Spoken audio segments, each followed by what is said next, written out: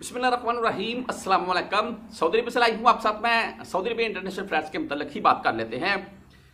रोज बरोज दिन जा रखे हैं। तीस तारीख नज़दीक आ रखी है, यानी कि तीस नवंबर। और फ्लैट्स भी बहाल नहीं हो रखी हैं और इकामा छुट्टी भी अभी तक शाही फरमान हुक्मनामा जारी नहीं किया गया है। मजीद बढ़ाया जाता है, नहीं बढ़ाया जाता है। और ना ही फ्लैट्स के मतलब कोई हुक्मनामा अभी तक जारी हुआ है।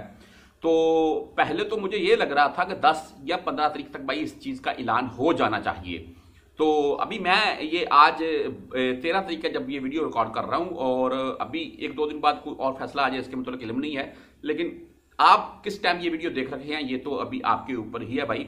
लेकिन अभी तक कोई भी किसी किस्म का इसके मतलब फैसला नहीं आया है। मैं इस वीडियो में आपके साथ बात करूँगा भाई कि क्या आपके इकामे छुट्टी बढ़ेंगे या फ्लैट्स ओपन होंगी। जो अभी तक के मामला सामने आ रखे हैं, उनको देखते हुए बात करेंगे।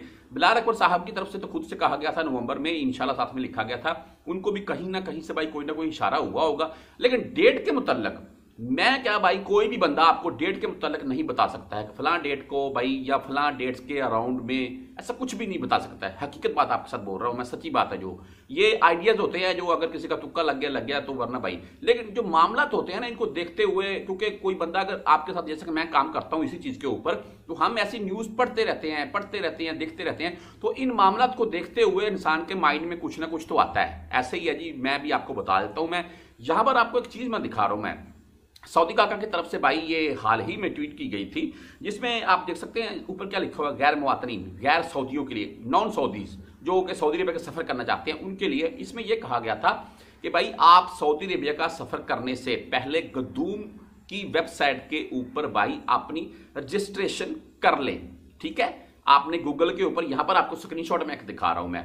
इसके ऊपर जाकर आपने कदूम लिखना है तो वहाँ पर ये वेबसाइट ओपन हो जाएगी। वहाँ पर आप जाकर भाई अपनी रजिस्ट्रेशन कर सकेंगे। यानी कि आपने वैक्सीन अपनी लिखनी है, इकामा, नंबर, नाम, पता वगैरह, बस। और इसके अलावा कुछ भी नहीं, वहाँ पर आपने कुछ खास चीज़ें लिखनी ऐसी कोई मसला नहीं है। उसके ऊपर रजिस्ट्रेशन करें, उसके बाद सऊदी अरेबिया में आए। सऊदी का की तरफ़ से ट्वीट की गई थी। क्यों की गई थी भाई?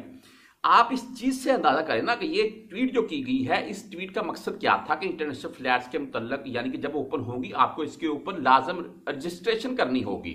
तो भाई इंटरनेशनल फ्लैट्स के मुतलक ही इशारे हो रहे हैं।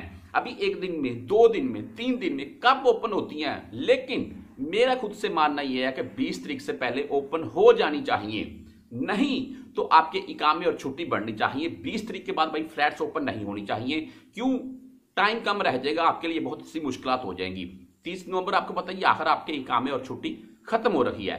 तो मैं ये सोच रहा था और ये मैंने ट्वीट भी देखी, मैंने बोला, आप भाई वो साथ भी शेयर कर दो। मजीद आप भाई इसके मतलब क्या सोचते हैं अपने जहन में? मुझे कमेंट में अपनी राय भी दीजिएगा। आने वाले वक्त में इसके मतलब जो भी अपडेट आएँगी, वो भी आप साथ शेयर करूँगा। तब तक के लिए अल्लाह हाफिज़।